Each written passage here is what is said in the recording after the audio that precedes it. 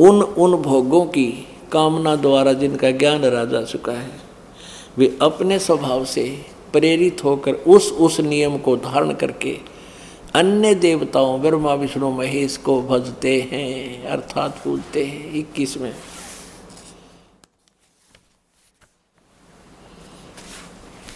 जो जो काम भक्त जिस जिस देवता के स्वरूप को श्रद्धा से पूजना चाहता है उस उस भक्त की श्रद्धा को मैं उसी देवता के प्रति स्थिर करता हूँ। बाईस में, वह पुरुष, वह व्यक्ति उस श्रद्धा से युक्त होकर उस देवता का पूजन करता है और उस देवता से मेरे द्वारा ही विधान किए हुए उन इच्छित भोगों को निसंदेह प्राप्त करता है। अब आगे तेईस में स्पष्ट कर दिया, परंतु उन अल्प बुद्धि वालों का, मंद बुद्धि वालों का, बुद्धिहीनों का वह फल नाशवान है। देवताओं को पूजने वाले देवताओं को प्राप्त होते हैं। मत भक्त, ये ननराज्य चाहे जैसे भी भजे अंत में नहीं, मेरा भक्त मुझको ही प्राप्त होते हैं। अपने आत्माओं, आपको और दिखाते हैं। अध्याय नंबर नौ का श्लोक बीस से लेकर तेईस तक। नौ का यो बीस है। तीनों वेदों में यजुर्वेद, ऋग्वेद और श्यामवेद अथर्वेद जो है वो वो अलग से है, वो सृष्टि रचना का ज़्यादा ज्ञान है। इन तीनों वेदों में विधान किए हुए ऋग्वेद, यजुर्वेद और श्यामवेद, ये भक्ति के सत्र के वेद हैं। इन तीनों वेदों में विधान किए हुए सकाम कर्म करने वाले सोमरस पीने वाले पाप रहित पुरुष, मुझको यज्ञों द्वारा पूजकर स्वर्ग की प्राप्ति चाहते हैं। वे अपने पुण्यों के फल रूप स्वर्ग लोक को प्राप्त होकर स्वर्ग में दिव्य देवताओं के भोगों को भोगते हैं। इक्कीस में देखना क्या कहा है। अब वे, ये इक्कीस है वे उस विशाल स्वर्गलोक को भोग कर पुण्य अक्षीण होने पर मृत्यु लोक को प्राप्त होते हैं। मृत्यु लोक। को इसी प्रकार स्वर्ग के साधन रूप तीनों वेदों में कहे हुए सकाम कर्म का आश्रय लेने वाले और भोगों की कामना करने वाले पुरुष बार बार आवागमन को प्राप्त होते हैं। अर्थात पुण्यों के प्रभाव से स्वर्ग जाते हैं और पुण्य क्षीण होने पर मृत्यु लोक में आते हैं। अब बाईस में क्या कहा है? जो अनन्य प्रेमी भगत जन मुझ परमेश्वर को निरंतर चिंतन करते हुए निष्काम भाव से बजते हैं, वो निरंतर नित्य निरंतर मेरा चिंतन करने वाले पुरुषों के योग अक्षेम में स्वयं वहम करता हूँ और तेईस में कमाल कर दिया। हे अर्जुन, यद्यपि श्रद्धा से युक्त सकाम भक्त हैं, सकाम नहीं, ये जो भक्त हैं, जो ऊपर वर्णित किए हैं, जो अन्य देवताओं को पूजते हैं, वे भी मुझको ही पूजते हैं। अर्थात करने का भाव यह है कि वो भगवान की पूजा मान कर, वो भगवान की भक्ति ही कर रहे हैं, किंतु उनका वह पूजन अविधि पूर्वक अर्थात अज्ञान पूर्वक है आगे पच्चीस में कहा कि देवताओं को पूजने वाले देवताओं को पूजने वाले देवताओं को प्राप्त होते हैं, पितरों को पूजने वाले पितरों को प्राप्त होते हैं, और भूतों को पूजने वाले भूतों को प्राप्त होते हैं, और मेरा पूजने वाले भक्त मुझको प्राप्त होते हैं। अपना आत्मा ये देखना। और यहाँ फिर आइएगा कि उन अल्प बुद्धि वालों का, हे अर्जुन, ये ये नौवें अध्याय के तेईस में कहा है, हे अर्जुन, यद्यपि श्रद्धा से युक्त जो सकाम भक्त, सकाम नहीं, जो वो भक्त हैं, जो दूसरे देवताओं को पूजते हैं, ब्रह्मा, विष्णु, महेश को पूजते हैं, वे भी मुझको ही पूजते हैं, किंतु उनका वह पूजन अविधि पूर्वक अज्ञान पूर्वक है, शास्त्र विरुद्ध है। और पुण्यात्माओं सोलहवें अध्याय के तेईसवें श्लोक में स्पष्ट किया है। तेईसवा श्लोक जो शास्त्र विधि को त्याग कर अपनी इच्छा से मनमाना आचरण करता है, वह न सिद्धि को प्राप्त होता है, न परम गति को और न सुख को ही। चौबीस में कहा कि इससे तेरे लिए कर्तव्य और अकर्तव्य की अवस्था में शास्त्र ही प्रमाण है। ऐसा जानकर तो शास्त्र विधि से नियत कर्म ही करने योग्य है। यानी और नहीं करनी चाहिए। अब देखो सत्र में मैं क्या पूछा है? हाय हाय। तोड़ पाड़ रखा गीता जी, जमा कर्म वाइज ज्ञान है, तरती वाइज, प्रथम मंत्र में। अर्जुन ने पूछा, हे कृष्ण, जो मुनि शास्त्र विधि को त्याग कर श्रद्धा से युक्त देव आदि का पूजन करते हैं, यानी अन्य देवताओं की पूजा करते हैं शास्त्र विधि त्याग कर मनमानी उनकी सतिथि फिर कौन सी? सात्विक, राजसी या तामसी है? फिर पूछा है। अब इसमें जो पूछा, जो शास्त्र विधि त्याग कर को जो करते हैं, वो किस अतिथि के लोग हैं? अब देखो, इस सत्र में अध्याय के पाँचवें श्लोक में कहा है, वे जो मनुष्य शास्त्र विधि से रहित, केवल मन कल्पित घोर तप को तपते हैं, मनमानी जो साधना करते हैं दम और अहंकार से युक्त कामना, आसक्ति और बल के अभिमान से युक्त हैं। वो किसे बताए हैं? शरीर रूप से सतीत भूत समुदाय को और अंत कर्ण में सतीत मुझ परमात्मा को भी अब करस करने वाले हैं, दुखी करने वाले हैं। उन अज्ञानियों को असुर स्वभाव के जान अपुण्यात्माओं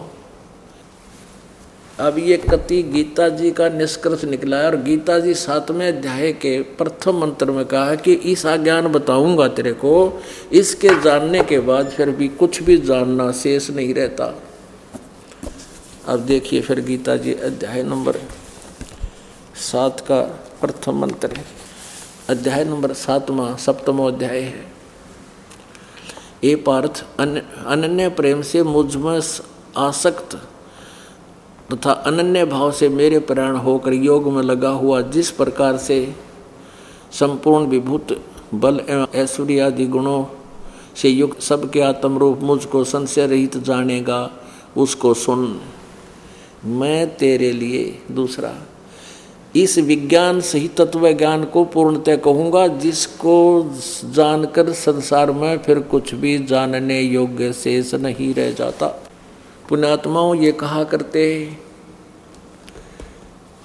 कि ब्रह्मा, विष्णु, महेश, अजरो, अमर हैं। इनका कोई माता पिता नहीं है, यही सब कुछ है सर्वेशवा हैं। और परमात्मा उनके विषय में क्या कहा करते थे? मोती मुक्ता दर्शत नाही, ये जग है सब अंदरे दिखत के तो नैण चम इनका फेरा मोतिया बंदरे अब परमात्मा कहा करती ये तुमने विद्वान दिखाई दे ये गच्छामी गच्छामी करके मूर्ख बना रहे तुमने। ये संस्कृत के ज्ञाता इन कह कह का भी ना बेरा इस वेदों के और गीता के बारे में। इनका तो अज्ञान रूपी मोतिया बंद है। इन ऋषि महर्षियों के आपने पूरा इतिहास देख लिया आज। सतयुग के ब्राह्मणों के वेद के विद्वान थे और दुर्गा की पूजा करें। आलिया ओडिन की विदुता का। और भगवान कहा करते,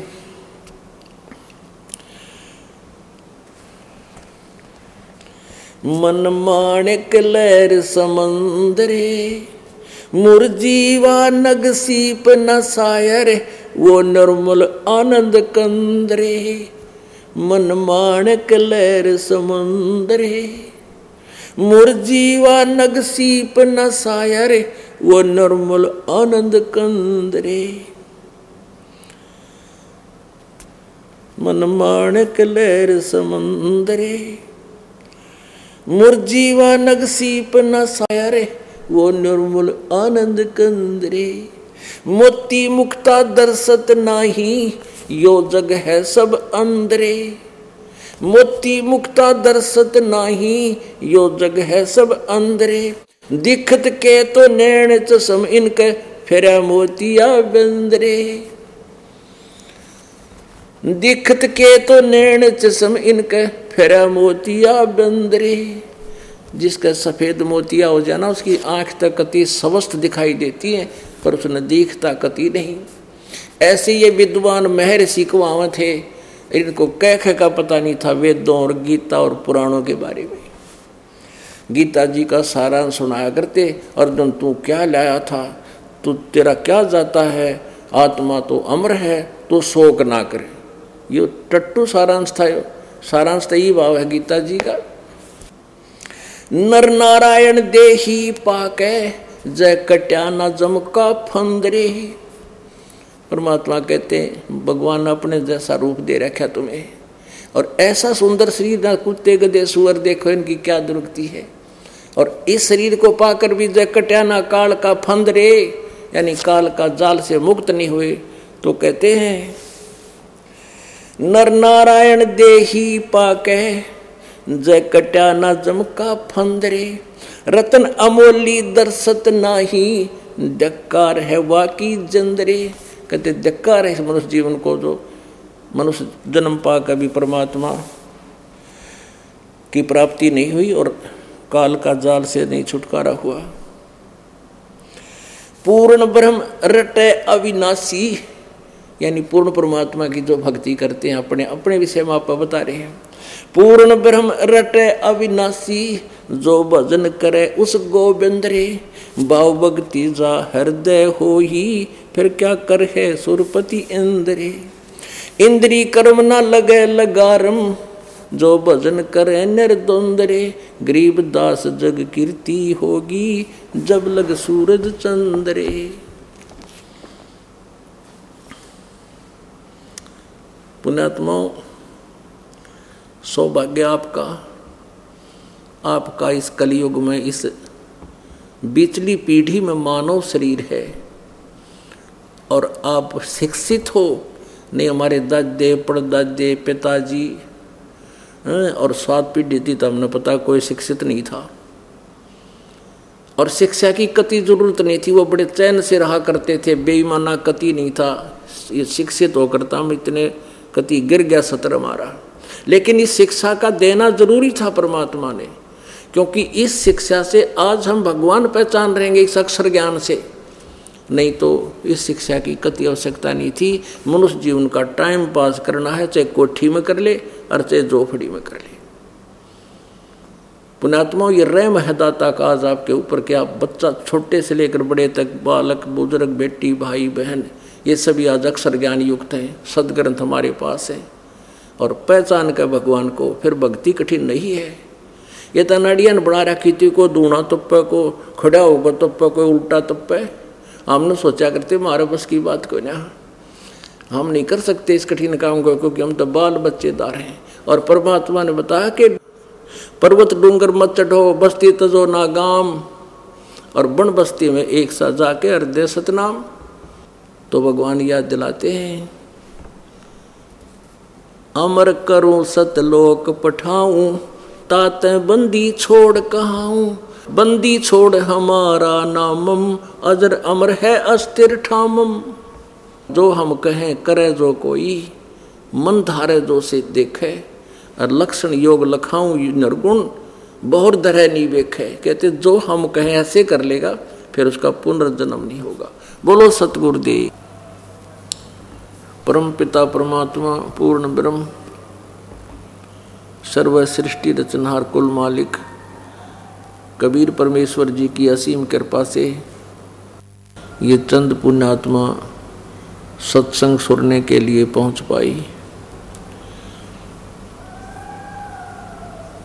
सकल पदार्थ हैं जगमाही और कर्महीन नर पावे नाही। परमात्मा पूर्ण ब्रह्म, सारी सृष्टि के रचनहार कबीर देव जी, ये हम सभी आत्माओं के एकमात्र मालिक हैं। ये हमारे अपने हैं। अपनों का दुख अपने को ही होता है। ये काल जिसको हम अपना मालिक मानते हैं, क्योंकि हम अपने कर्मों के कारण, अपनी गलती के कारण इस काल के पराधीन हो गए। अब ये जैसे भी चाहता है, वैसे हमारी नाच नचा रहा है, वैसे हमें कष्ट दे रहा है। और उसको कष्ट देने का उद्देश्य ये भी है कि वो हमें जितना दुखी करेगा उतना ही हमारे पिता को कष्ट होगा। इस निकम्मी आत्मा ने स्वयं वहाँ गलती की थी। एक पैर पे खड़ा होकर इसने सत्तर युग तप